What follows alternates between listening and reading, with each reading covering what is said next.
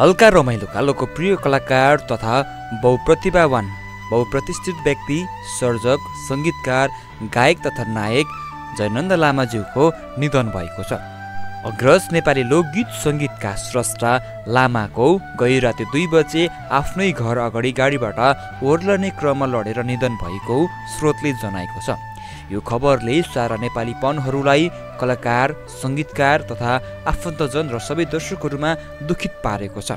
सुन्दा नमिठो लाग्ने यो खबरलाई वास्तवमै झुटो भइदिए पनि हुने थियो।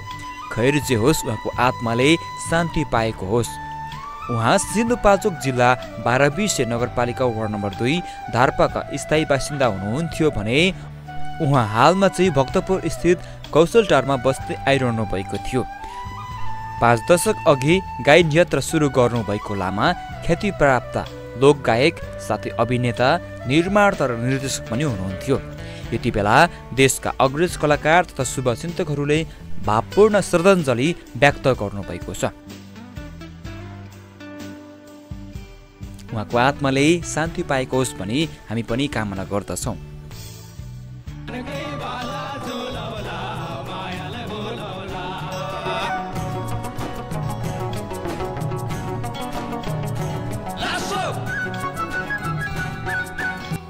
हल्का रमाइलोका लोकप्रिय कलाकार तथा बहुप्रतिभावान बहुप्रतिष्ठित व्यक्ति सर्जक सङ्गीतकार गायक तथा नायक जयनन्द लामाज्यूको निधन भएको छ।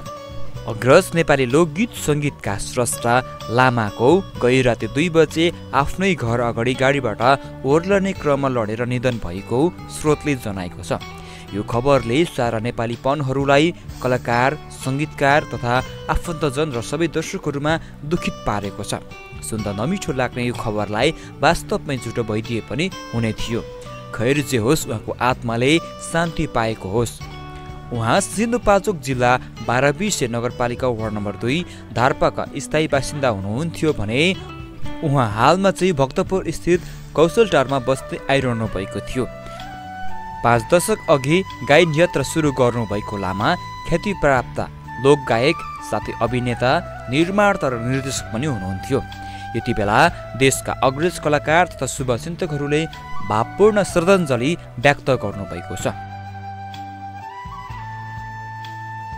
उहाँको आत्माले शान्ति पाएको होस् भनी हामी पनि कामना गर्दछौँ।